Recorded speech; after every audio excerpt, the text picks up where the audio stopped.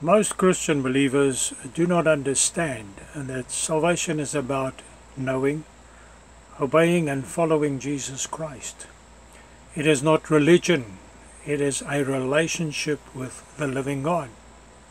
God revealed himself in and through Jesus Christ, who took on the form of a man to take away the sins of the world and save many from eternal damnation. Jesus saves those who believe in him and obey his teachings, as they were also recorded in the Gospels Matthew, Mark, Luke, and John. Jesus saves those who accept him as their Lord and Master, repent, turn from their evil ways, are baptized in water, and live in obedience to his teachings. He forgives their past sin, reveals himself to them. They are born again, made new inside, and he gives his Holy Spirit in them to teach and guide them and to be with them forever. If they stay with him, follow and obey him until the end, he gives them eternal life. Those who disbelieve, reject, and disobey Jesus will perish in eternal damnation.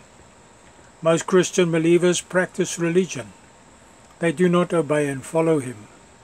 They do not know Him. They do not have a real relationship with Him. Salvation is not about complying with a set of rules and performing religious rituals. It is about our relationship with Jesus, obeying and following Him, staying with Him. Our relationship with Jesus depends on our obedience to Him.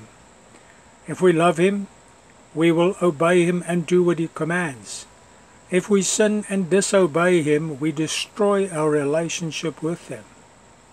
If we care about our relationship with Jesus, we will be very careful not to disobey Him and not to sin.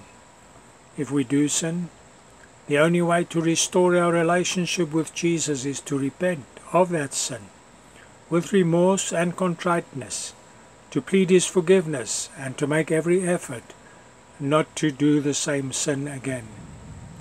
We have to constantly work on our relationship with Jesus and make sure that we do what is pleasing to Him in everything. The only way that we can grow our relationship with Jesus is through constantly keeping Jesus on our mind, praying, being totally dependent on Him.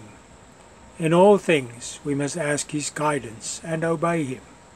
He will guide and teach us through His Holy Spirit that He gives in those who love and obey Him. We have to guard our relationship with Jesus above all things, because without Jesus we have no hope, no expectation. Jesus warned that he will say to many Christian believers when they die, Go away, I never knew you, you workers of wickedness. They will be cast into damnation because they never obeyed and followed Jesus. They never had any relationship with him.